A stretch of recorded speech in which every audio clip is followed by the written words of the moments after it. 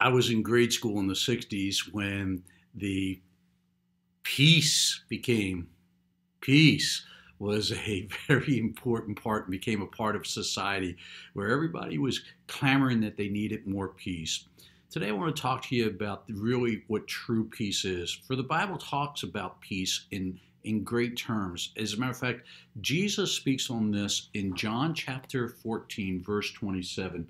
Listen to how it reads Peace I leave with you, my peace I give to you. I do not give to you as the world gives.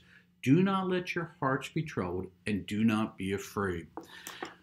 See, most of us think that peace is the absence of conflict. The reality is that's not what God's peace is all about.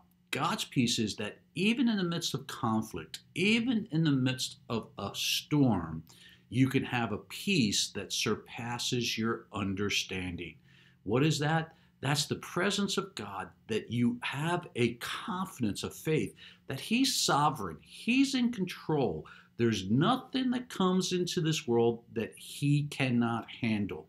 And He says, I give you my peace. In the midst of the storm, you can have confidence because you have faith in Christ.